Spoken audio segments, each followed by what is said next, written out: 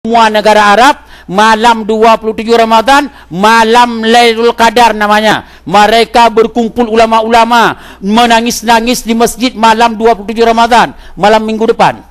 Tapi malam ini besar kemungkinan dan dua-dua malam ini saya begitu aja. Perasaan saya perasaan perasaan. Allah taala alam yang paham apakah malam esok? Tapi yang malam ini malam Jumat akan datang tidak boleh ke mana-mana jadi hitungnya malam ini malam Jumat wajib masuk masjid ibu wajib begadang berzikir dan baca Quran malam ini. Wajib bu.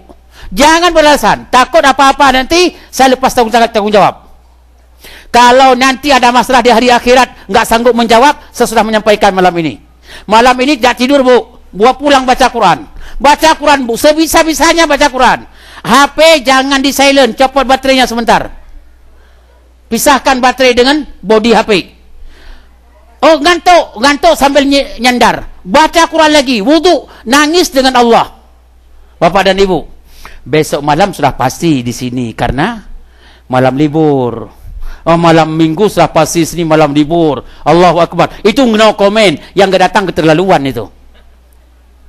Kemudian malam Jumat depan, malam 27, malam 1 malam uh, jelas. Kalau begitu, Bapak masuk ke masjid nanti baca doa masuk masjid. Bapa doanya tadi, Allahumma Allahumma Allahumma ftahli abwaba rahmatika. Coba baca satu dua tiga. Umaftahli abwaba rahmatika. Maknanya ya Allah bukakan pintu rahmatmu kepadaku malam ini. Aku masuk masjid, bukalah pintu rahmatmu ya Allah kepadaku. Tentunya ibu yang di rumah anak-anak dapat rahmat semua gara-gara ayahnya ke masjid. Begitu keluar, tapi jangan keluar dulu nih. Begitu keluar masjid baca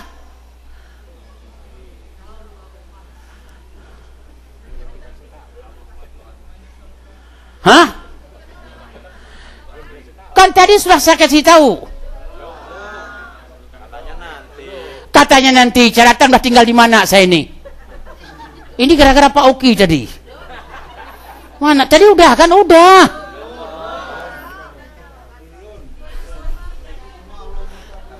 Tadi sudah belum tadi?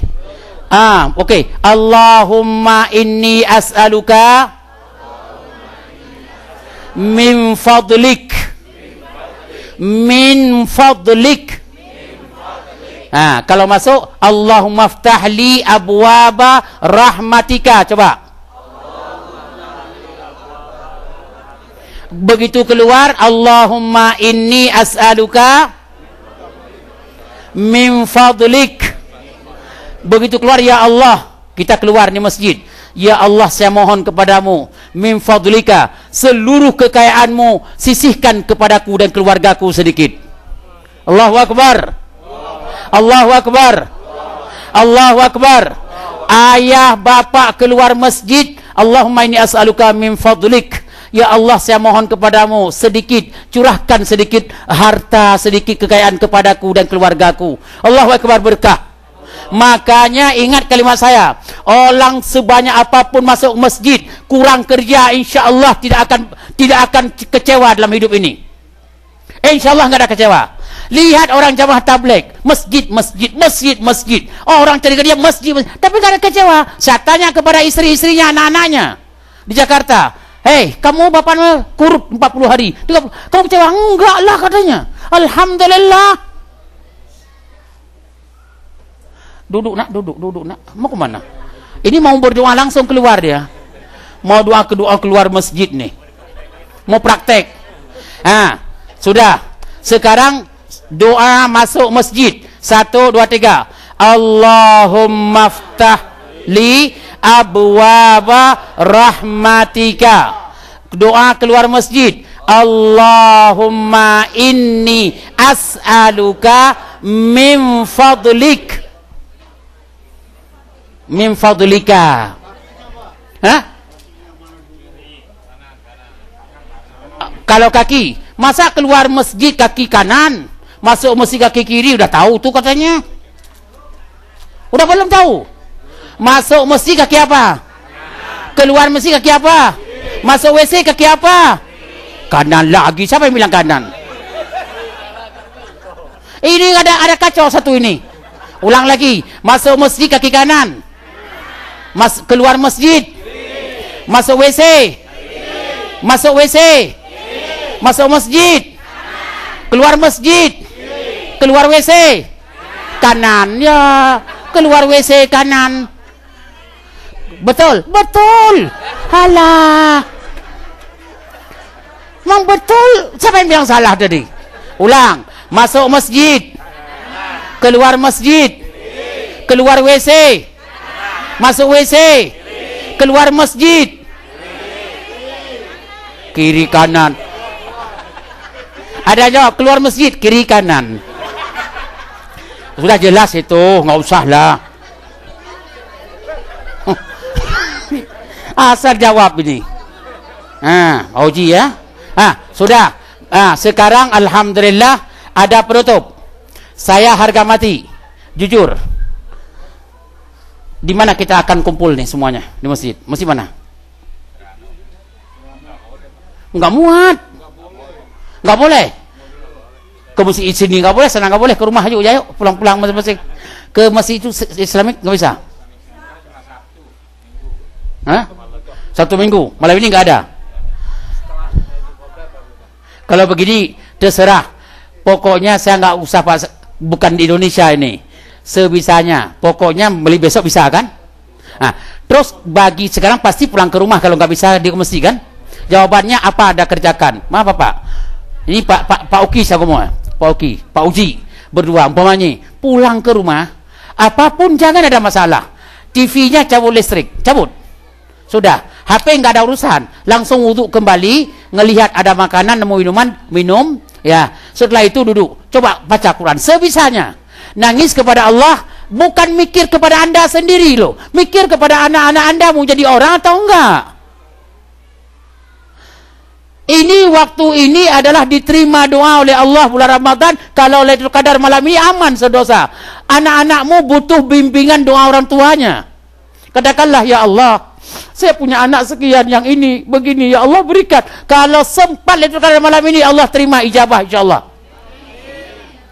makanya saya katakan Bang Oji ini Bang uh, Bang apa Bang Oki Bang Oji dan Bang-bang yang lain Bang-bang ada Bang-bang enggak di sini ah, tolong Mas kalau enggak bisa ke mesin masuk ke rumah tolong tolong jangan tidur ah Bang Siskandar juga. Ini bukan bang ini, kakek ini. Ah, tolong Pak, tolong malam ini ibu-ibu juga jangan bilang tidur. Menyesal seumur hidup kalau umur kita pendek. Betul? Kalau ketiduran boleh, jangan berdebat dengan ustaz dosa lah. Sudah saya maafkan dosanya. Ya, Bapak dan Ibu, terima kasih. Itu alasan. Harga mati ya. Harga mati saya hanya ingin menyetur muka dengan Allah kalau Allah bertanya hai Rosli ilmu kamu banyak. Di, di Timur Tengah kamu belajar agama puluhan tahun. Di pesantren puluhan tahun. Kamu berdakwah ke mana-mana. Tapi kenapa murid-muridmu di LA orang yang cantik dan ganteng itu kenapa harus masuk neraka? Saya katakan wallahi ya Allah sudah saya sampaikan. Tangan saya berbusa mulutku. Sudah saya sampaikan. Sudah saya sampaikan. Sudah saya sampaikan ya Allah. Tapi mereka kamu dengar. Sudah saya sampaikan ya Allah. Saya bilang malam ini kita jangan Lailatul Qadar Kadang-kadang umur kamu terakhir tahun ini, udah saya sampaikan ya Allah untuk melepas tangan aja, lepas. Saya enggak ada ngomong lagi depan Allah. Kata Allah, ya sudahlah kalau begitu. Berarti kamu masuk surga, dia ngikut insyaallah. Amin. Amin.